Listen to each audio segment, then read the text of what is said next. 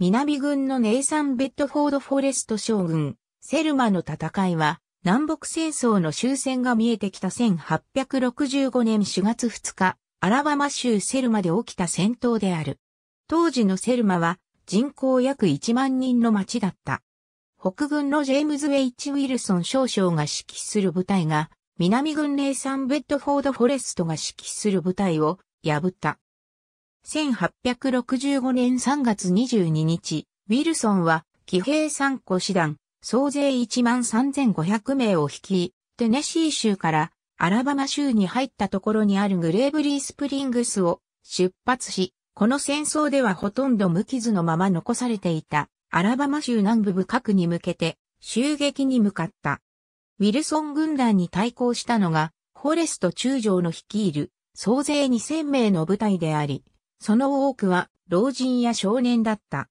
4月1日にはエベネザー協会の戦いで、フォレスト隊とかけながらの戦闘となり、フォレスト隊がセルマ市に退却し、そこの守備隊と合流した。ウィルソンはセルマに向かいながら、事態を3隊に分けた。セルマの防御は強固だったが、それを活かせるだけの兵力がなかった。ウィルソンの部隊がいくつかの地点で防御線を突破し、市内の南軍を降伏させた。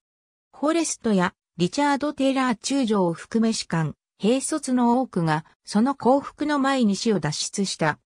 セルマの町はフォレストですら難攻不落と考えていたところだったが、アメリカ連合国に残されていた地域に入ってくる、容赦しない北軍の圧倒的な動きを止めることは、できないことを示すことになった。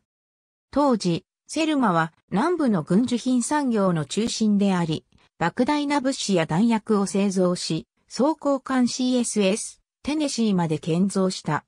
セルマの鉄鋼所と製鉄所は、バージニア州リッチモンドのトレデガー鉄鋼所に次いで、南部では2番目の武器生産拠点とみなされていた。このように生産能力が集中する戦略的な位置づけにあったので、南北戦争の後半では北軍によるアラバマ州襲撃の標的になった。1865年3月30日、ウィルソン将軍がジョン・ティー・クロクストン将軍の旅団を派遣して、アラバマ州タスカルーサの南軍施設をすべて破壊しようとした。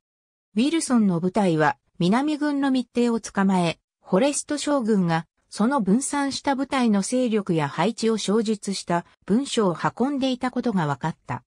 ウィルソンは一行旅団を送って、センタービルでカハバ川に架かる橋を破壊させ、それでフォレストの援軍の大半がこの地域に入れないようにした。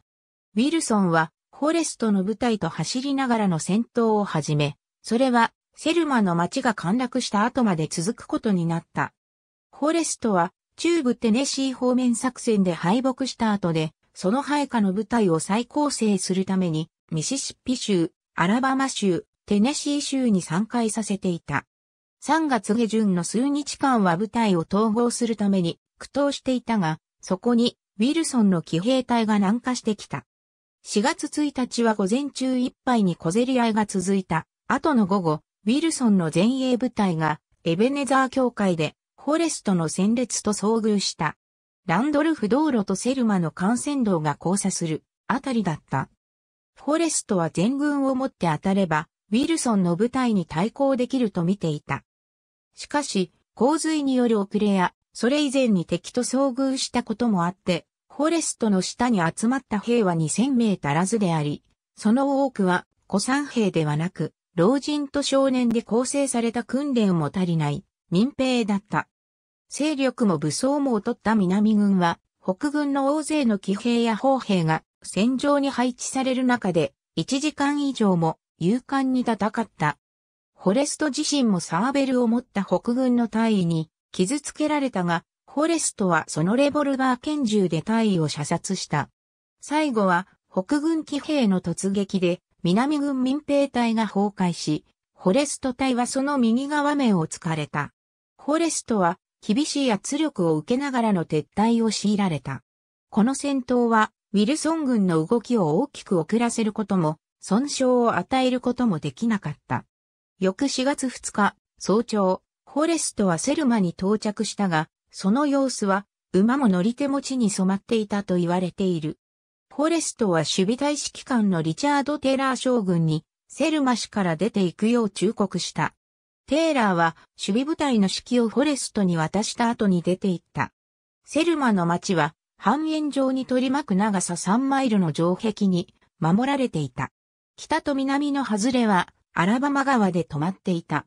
この防御工作物は2年前に作られ、その後はほとんど手を入れていなかったが、それでも頑強なものだった。壁の高さは8フィートから12フィート、底部の厚さは15フィートあり、幅4フィート、深さ5フィートの堀が前面にあった。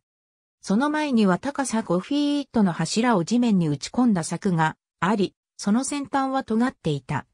壁から突き出た位置には土盛りの上に大砲が置かれ、攻撃が行われた場合の地面を狙えるようになっていた。フォレストの守備隊は自分のテネシー護衛中隊、ヘンリー・マッカローのミズーリ連隊、エドワード・クロスランドのケンタッキー旅団、フィリップ・デール・ロディのアラバマ旅団、フランク・アームストロングのミシシッピ旅団、ポイント・クーピー砲兵隊、ダニエル・ W・ アダムズ将軍の収予備隊で構成されていた。これに取りで守備を志願したセルマ市民が加わった。これらすべてを合わせても4000名足らずであり、やっとその半分が軍人だった。セルマの要塞は2万名で守るように建造されていた。フォレストの部下は、胸壁の上に互いに10ないし12フィート離れて立つしかなかった。北軍のジェームズ・ H・ ウィルソン将軍、ウィルソンの部隊は午後2時にセルマ要塞の前に到着した。ウィルソンはイーライロング準将の師団をサマーフィールド道路の向こうに配置し、シカゴボードオブトレードバッテリーを支援に置いた。エモリー・アプトン少将の師団は、レンジライン道路の向こうに配し、アメリカ第4砲兵隊、第1大隊に支援させた。ウィルソンの部隊は装備も良く、訓練を積まれた9000名が攻撃に使えた。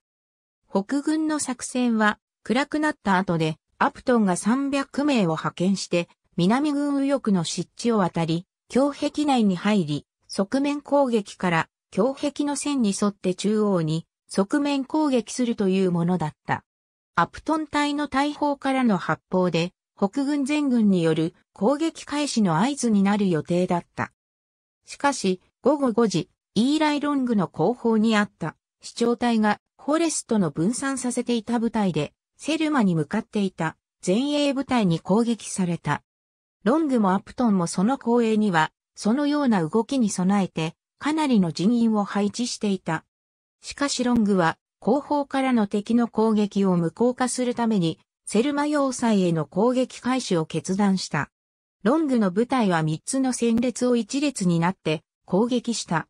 馬を降り、7連発スペンサーカービン銃を発砲し、自部隊の大砲に支えられた。南軍は消火器と大砲で激しく反撃した。南軍の砲兵は手元に忠実の砲弾しかなかったが、すぐ近くの武器庫では、対人用弾丸として効果的な弾頭を数多く製造していた。北軍は、ロング将軍自身を含め多くの損失を出したが、攻撃を続けた。北軍兵が強壁に達すると、凶暴な白兵戦になった。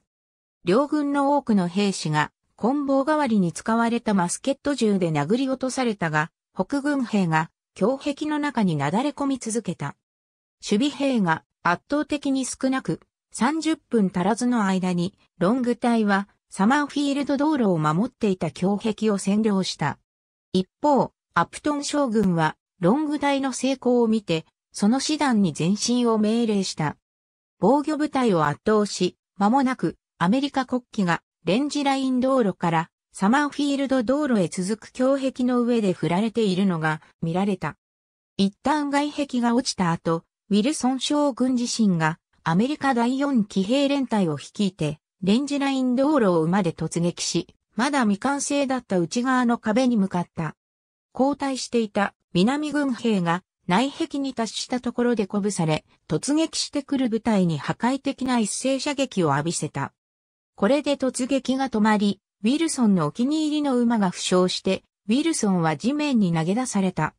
ウィルソンはすぐに傷ついた馬に再度またがり、スーコレン隊による下馬しての攻撃を命じた。南軍の混成部隊がセルマの鉄道駅と隣接する線路省に陣取ってプランターズビル道路の側で抵抗しようとしていた。ここでの戦闘は激しいものになったが、午後7時までに勢力に勝る北軍が南軍の側面をつくことができた。南軍はこの駅と内壁を放棄した。北軍は数百名の南軍病を捕虜にしたが、なお数百名は暗闇の中でバーンズビル道路を逃亡した。その中には、フォレスト、アームストロング、ロディの各将軍が入っていた。その西では多くの南軍兵が追跡する北軍と戦いながらバレークリークの東岸まで後退した。彼らはバレークリークがアラバマ川に合流する地点近くで暗闇の中を泳いで川を渡り逃亡した。今日、この場所でセルマの戦いの再現が行われている。フォレストはこの市内から逃亡するときに北軍兵を一人殺しており、南北戦争の戦闘中に自ら殺した30人目のものになった。このセルマの戦いで、北軍は359名の損失を出し、一方南軍の損失は2700名以上となったが、その大半は捕虜になった者たちだった。また、大砲32門も奪われた。勝ち誇った北軍はその夜市内を略奪し、多くの企業や民家を焼いた。翌週は武器庫や海軍製鉄所を破壊するために使われた。最後にセルマを離れて、アラバマ州の州都モンゴメリーに移動し、復活祭の日曜日には、ジョージア州、コロンバスの戦いを戦い、ジョージア州、メーコンまで進んで戦争が終わったことを知った。5月10日、この部隊は、ジョージア州、アーウィンズビルで、アメリカ連合国大統領ジェファーソン・デイビスを捕まえた。ありがとうございます。